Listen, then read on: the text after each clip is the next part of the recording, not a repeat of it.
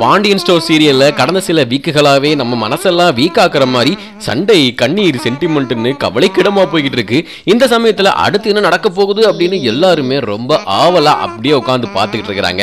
விஜய் டிவிலேயே ரொம்ப பாப்புலரான சீரியல்ல முக்கியமான இடத்துல முந்திகிரி நிக்கிறது தான் நம்ம பாண்டியன் ஸ்டோர் சீரியல். அதுவும் இல்லாம கூட்டு குடும்பம் அண்ணன் தம்பி ஒற்றுமை அப்படின்னு சொல்லிட்டு ரொம்ப அருமையா போய்கிட்டு இருக்கு அதுவும் இல்லாம வசனம்லாம் எழுதும் போது என்னதான் பண்ணி எழுதுவாங்கன்னு தெரியல. டேரக்டர் என்னமோ ஏதோ ஒரு கூட்டு குடும்பத்தை எட்டி பார்த்த மாதிரியே அந்த டயலாக்லாம் இருக்கும். ஏன்னா அந்த அளவுக்கு சிங்காக இருக்கு கிட்டத்தட்ட ஆயிரத்துக்கு மேலே எபிசோட நெருங்கிக்கிட்டே போயிட்டு இருக்கு சண்டை கண்ணீர் அப்படின்னு போய்கிட்டு இருக்க இந்த எபிசோட்ல நம்ம மூர்த்திக்கு ரொம்ப பாவங்க.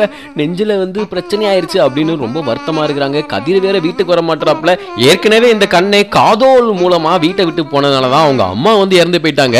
இப்போ என்னன்னா மூர்த்திக்கு உடம்பு சரியில்லை அப்படின்னு ரொம்ப வருத்தத்தில் இருக்கு. இந்த பாண்டியன் ஸ்டோர் சீரியலே பாண்டியன் ஸ்டோர் சீரியல் தான் ரொம்ப கவலைக்கிடமாக இருக்குன்னு பார்த்தோம்னா என்னங்கடா இதை பார்க்குற மக்களும் இந்த அளவுக்கு சென்டிமெண்ட் ஆகிட்டு இருக்கேன் அப்படின்ற அளவுக்கு எல்லார் மனசையும் பத பதச்சுக்கிட்டு இருக்கு அப்படின்னு தான் சொல்லணும். சரி இப்போ என்னதான் நடக்க போகுது அப்படின்னு பார்த்தோம்னா ரசிகர்கள் ஓரளவுக்கு அடுத்து யாருக்கோ என்னவோ நடக்க போகுது அப்படின்னு ஏதோ பாதியில் அந்த பேராசூட்ல உட்காந்த மாதிரியே நம்ம ஆடியன்ஸ் எல்லாருமே பிஹேவ் பண்ணிட்டு இருக்காங்க குடும்ப பெண்கள் எல்லாருமே இந்த சீரியலுக்கு ஆடியன்ஸா இருக்கனால ஆண்கள் எல்லாருமே ஆப் ஆயில் கூட கிடைக்க மாட்டேதுங்க வீட்டில் அப்படின்னு சொல்லிட்டு கம்ப்ளைண்ட் பண்ணிட்டு இருக்காங்க இந்த பரபரப்பால தமிழ் சீரியல்லே டாப் ரேட்டிங்ல இருக்கு இந்த பாண்டியன் ஸ்டோர் சீரியல் இந்த எல்லா சம்பவத்துக்கும் மூல காரணமா இருக்கிறதே நம்ம மீனான்ற கேரக்டர் தான். அதுவும் இல்லாமல் இந்த மீனா கேரக்டர் மேலே கோவம் வந்தாலும் அப்பா இந்த பிள்ளை கரெக்டாக தானப்பா கேட்குது அப்படின்ற மாதிரியும் நம்மளோட டேரக்டர் வந்து யோசிக்க வைக்கிறாரு.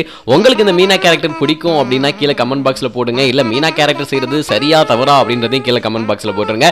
இந்த மாதிரி சினிமா அப்டேட்டை அடுத்தது தெரிஞ்சுக்கணும்னா மறக்காம நம்ம சேனலை சப்ஸ்கிரைப் பண்ணிடுங்க வட்டா